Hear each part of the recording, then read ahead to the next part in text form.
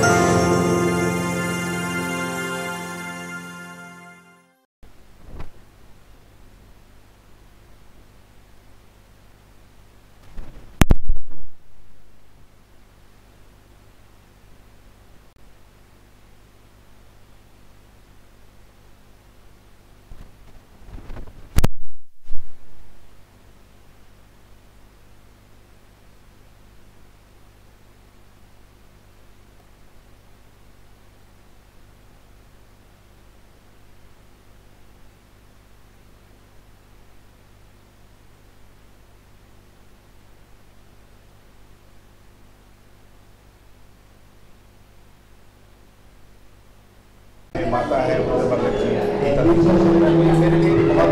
इस फ़िल्म में मैंने इस फ़िल्म को अपने तरीके से पूरी पूरी तरीके से मैंने अपना सब कुछ भोग किया उसके अंदर बहुत जल्द ट्रेलर आएगा आप सब देखिएगा बहुत अच्छी अच्छी लगेगी फ़िल्म आप सबको इसके अलावा फ़िल्म आएगी देवरानी जेठानी उसमें मैं रिपू घोष के अपोजिट में बहुत कमाल कमाल की फ़िल्म बनी होगी तो मैं अभी बेहतरीन फ़िल्में करने की कोशिश कर रहा हूँ ऐसी फ़िल्में जो आप सबको पसंद आए मेरी ऑडियंस को पसंद आए बदल आपको क्या चाहिए आपके बारे जी खड़ी हैं आपके बगल में और इन्होंने बहुत खूबसूरती से भोजपुरी पेश किया वहाँ पे। तो अनामिका जी के लिए आप क्या कहना चाहेंगे? फिर अनामिका से हैं नामिका जी के बारे में इतना कहूँगा कि देखने में छोटी है, बहुत बहुत टैलेंटेड है, बहुत कमाल की आवाज़ है। बहुत अच्छा सुर बहुत ज्ञान है ज्ञान है। मैंने ये गाने सुने थे, पर मिला मैं पहली बार हूँ तो और मेरे तो लेकिन मैं अभी लेकिन मैं इतने गाने सब हिट हैं और अच्छे अच्छे गाने आ रहे हैं। अभी डोरी से जाकर अपना गाना था बहुत प्यारा गाना था तो मैं इनको ढेर सारा ढेर सारा आशीर्- आशीर्वाद देता हूँ। ढेर सारी बधाई देता हूँ। आने वाले समय में ये टॉप नंबर वन हमारे इंडस्ट्री की सबसे बड़ी singer thank you thank you so much sir Anamika आप क्या कहना चाहोगे? सबसे पहले तो स्नेहा इवेंट एंड मैनेजमेंट को ढेर सारी शुभकामनाएँ महाराष्ट्र अचीवर्स अवार्ड कराने के लिए। और दूसरी बात, भोजपुरी हमने के बहुत गर्व हो होखेला कि हमने के भोजपुरिया जब बनी और अभी मैंने डोली सजा के रखना मूवी से डेब्यूट किया इंडस्ट्री में। पवन जी की मूवी आ रही है, हर हर गंगे। पवन जी की मूवी आ रही है, हर हर गंगे। उसमें भी मैंने दो गाने काशी पे गाए हुए हैं। और आँगन की तुलसी और खेसारी जी की चार चार मूवीज़ अभी बहुत सारी आ रहे हैं। वर्क कर रही हूँ आप सभी के साथ। तो बस ऐसे ही प्यार और आशीर्वाद देते रहिए कि भोजपुरी इंडस्ट्री में डटी रहूँ और अड़ी रहूँ। चल जाते एक गाना बस।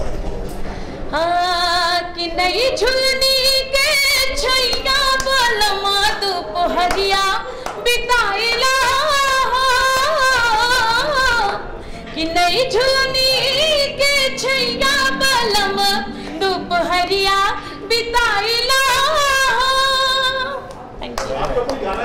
है गुनगुनाएँगे कोई गाना भाई मैं सिंगर नहीं हूँ, मैं गाऊँगा तो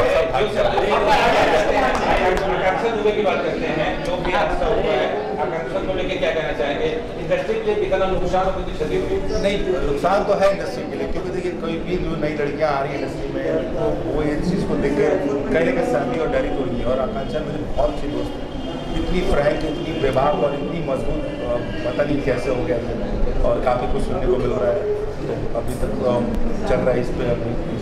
केस अभी तक पूरी तरह हुआ नहीं खुला नहीं है। अंकुशम मैं जल्दी चाह रहा हूँ जल्दी खुले और जो इस जो गुनहगार है उसे सजा मिले तो शर्मन सिंह को जिस तरह से आरोपी बनाया गया है कुछ लोग इसका विरोध भी कर रहे हैं कुछ लोग समर्थन भी कर रहे हैं। पवन जी आकांक्षा के घर पे गए उनकी माँ से मिलने के लिए तो आप क्या कहना चाहेंगे? नहीं पवन जी ने अपना बहुत अच्छा जैसे दिखाया। इसके पहले अक्षरा की गई थी सबसे पहले अक्षरा की गई थी फिर पवन जी गए थे काफ़ी लोग और सब कलवी जी भी गए थे रितेश जी के साथ गए थे काफ़ी लोग गए थे और मैं नहीं जा पाया उसके उसके लिए तो मैं सबसे बड़ा क्षमा चाहूँगा, लेकिन अगर समर जी के ऊपर जो गुनहगार अगर साबित हो जाती है तो सज़ा मिलना ही चाहिए। और जब तक नहीं हुआ, तब तक हमें वेट करना चाहिए कि कई कई नए नए मोड़ आ रहे हैं। कभी आज आज ही अनुराधा सिंह जी को बुलाया गया है वहाँ पर तो अभी आगे क्या खुलेगा, क्या चीज़ें होंगी, वो तो अब आने वाला समय बताएगा पर यह है कि आकांक्षा जी सिगरेट जितनी बेबाक और जितनी मज़बूत थी, उसके साथ तो ऐसा नहीं हो और ना ही उसे ऐसा कदम उठाना चाहिए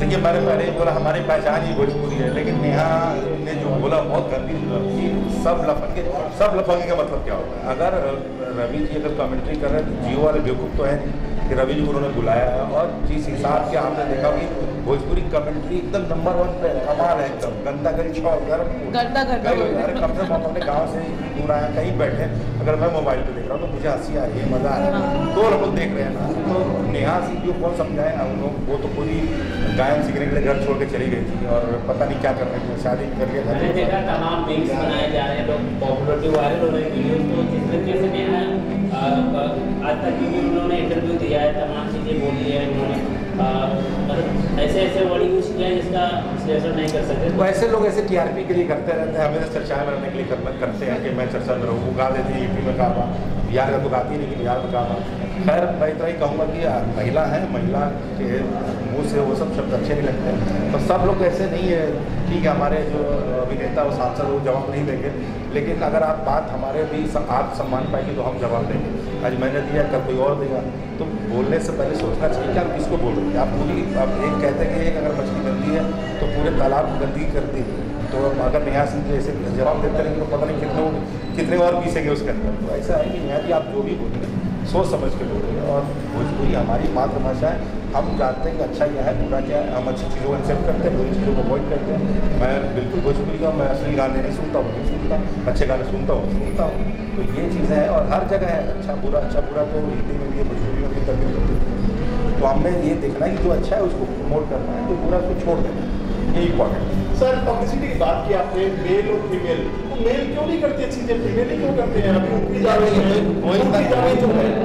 कोई ना विभाग बताने के लिए उपली हमें कोई ना कोई बेबाक होता है और मेल हो या फीमेल हो मैं नहीं कह रहा। है स्पेशली एक ऐसी लेडी का नाम आया जिन्होंने ऐसे किया दूसरे अगर ऐसे मेल करते वो भी जवाब पाते हैं। ऐसा नहीं है लेकिन बात यहाँ अभी अभी उन्हीं की चल रही थी क्योंकि मैंने उन पर एक वीडियो डाला था और वीडियो काफ़ी वायरल भी हो गया तो मैं मैं इतना ही इतना ही ज़रूर कहूँगा अगर आप भी जैसे आप भी जैसे मीडिया में हैं आप भी उनको अगर आपको कोई सम्मान देगा तो आप उस आप ही उसको सम्मान दोगे। अगर आपको कोई सम्मान नहीं देगा तो कैसे सम्मान दोगे। चाहे मेल का हो या फीमेल का हो बात यहाँ नहीं है। अगर मैं आपकी रिस्पेक्ट करता हूँ तो आप मुझे रिस्पेक्ट दें नहीं तो मेरा इंटरव्यू आप क्यों लोगे भाई? क्या आपको क्या ज़रूरत पड़ी है तो वो इम्पोर्टेंट है चीज़ है कि हम क्या बोल रहे हैं ये बहुत इंपॉर्टेंट है। क्या बोल रहे हो? इसका क्या असर हो रहा है? क्योंकि सोशल मीडिया एक ऐसी प्लेटफॉर्म हो गया कि आप छीकेंगे तो ही पता चल जाएगा सोएँगे तो ही पता चल जाएगा। तो हमको क्या करना है? वो इम्पोर्टेंट है। लेकिन मेरा सवाल है कि मेल क्यों नहीं करते? नहीं मेल बहुत करते हैं लेकिन मेल फीमेल क्यों नहीं करते? मेल ये मेल फीमेल ने अभी क्या जवाब दिया? मेल भी करते हैं लेकिन वो पुटांग करते हैं। या तो बहुत बोलेंगे या तो बोलेंगे ही नहीं। वो इस बीच में अटकते नहीं है वो। आर पार वाले फीमेल बगल में खड़ी है उसके बाद के बारे में क्या नहीं मैं बिल्कुल नो कमेंट्स क्यों? बस मैं यही कहना चाहूँगी देखिए वेस्टर्न ड्रेसेस बहुत टाइप के होते हैं। हाँ। बस इससे मुझे थोड़ा डर लगता है थैंक यू बस इसके अलावा और कुछ नहीं। बोलने से सब चीज़ डरते हैं। हाँ नहीं बोलना चाहिए वो तो इंसान अपने आप समझ जाता है कभी क्या कैमरे के सामने कंफर्ट हाँ। सिंपल ही सी बात है हाँ। सिंपल है इनको माइक दे दो एक कंपनी मेरे को हाँ। माइक दे दो मैं काम नहीं लूँगा ये फ़र्क है। मुझे आप कैमरे के सामने स्क्रिप्ट दे दो चार पेज का बोलूँगा चार लाइन बोलने को बोलोगे तो परेशान हो जाऊँगा हाँ। तो बस ये लगता है कि सबकी अपनी लाइफ है why to coming in everybody's personal हाँ, लाइफ अच्छा हाँ। रहा है। नहीं मुझे ये बिल्कुल भी कमेंट नहीं करना है कि अच्छा हो रहा है या नहीं हो रहा है। तो आप ये बिल्कुल मत पूछिए। सवाल हाँ। हैं अपकमिंग में क्या कुछ चल रहा है? अपकमिंग में एक्चुअली पवन जी की मूवी आई है हर हर गंगे। उसमें भी मैंने प्लेबैक किया है। प्लस आँगन की तुलसी मूवी है जिसका जिसने जिसे प्रदीप अंकल ने किया है प्रोड्यूस किया है। उसमें भी जी आँगन की लक्ष्मी सॉरी उसको भी मैंने उसमें भी गाया है। उसमें भी गाया और बहुत सारे गाने यश भैया की मूवी अघोरी आई थी उसमें भी मैंने प्लेबैक किया है। बहुत सारे प्रोजेक्ट्स अभी लाइन अप है। वो धीरे धीरे आते जाएँगे तो मैं इंडस्ट्री में बस सभी दर्शकों का भोजपुरी इंडस्ट्री के सभी दर्शकों का प्यार और आशीर्वाद ऐसे ही मैं अपने ऊपर चाहती हूँ बस। Thank you so much thank you thank you